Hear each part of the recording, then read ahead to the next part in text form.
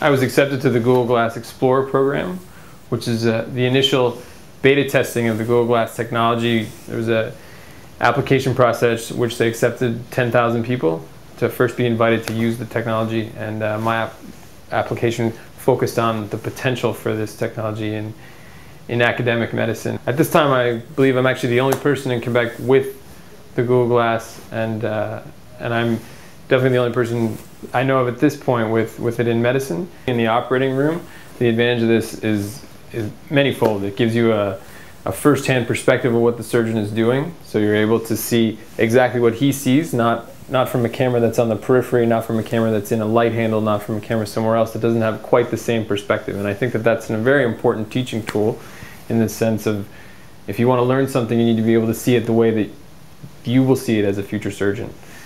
That's the first part.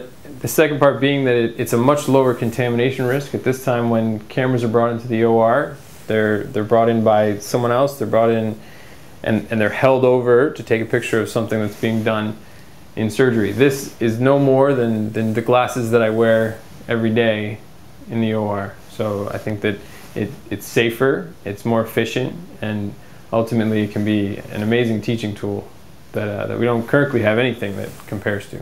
The ability to, to immediately be able to Google something and find out the more information on a potential diagnosis or a rare disease is, uh, is a huge asset.